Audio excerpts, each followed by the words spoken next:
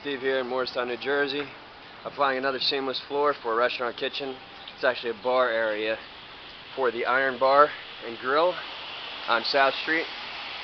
Uh, right now we're actually creating a profile on an existing terrazzo floor coating that's failed.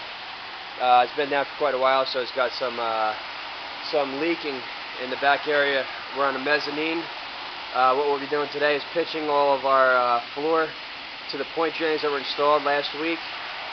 And uh, we'll be doing that with a TPM 711, a high early strength concrete patch mortar. Uh, from there we'll be applying a 4080 Fast Top S.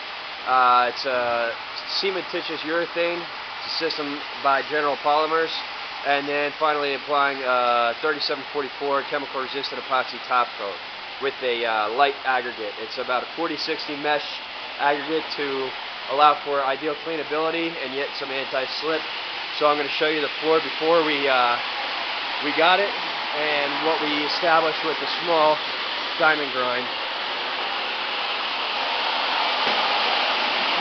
So as you can see, our left side of the floor is pitched directly to the drain. The right area where the bar is is yet to be pitched. We'll be establishing a screed point and then pitching it from three quarters inch down to zero to the center of that drain to allow for a nice cleanability. And over here we've got a National Diamond Grinder with some uh, six-leg diamonds on it. And this is your profile established.